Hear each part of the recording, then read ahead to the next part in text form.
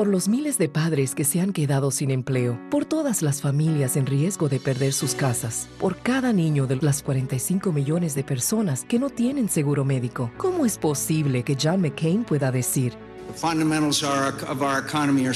¿Que los fundamentos de nuestra economía son sólidos? Quizás John McCain y los republicanos no quieran preocuparse por la prosperidad de nuestras familias, pero para nosotros no hay mayor obligación. Soy Barack Obama y yo apruebo este mensaje.